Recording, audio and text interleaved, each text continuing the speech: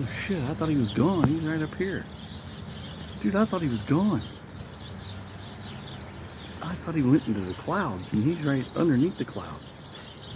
That's sweet. I didn't expect to see him right here.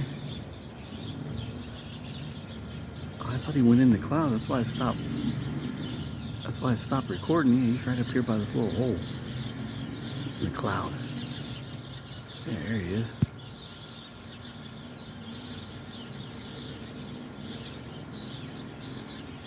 That's pretty sweet. And that's, that's a huge cloud, dude, because he's flying fast. Figure how fast he's flying. And he still hasn't, he went from one side of the cloud, he still ain't at the other side of the cloud yet. Look at that.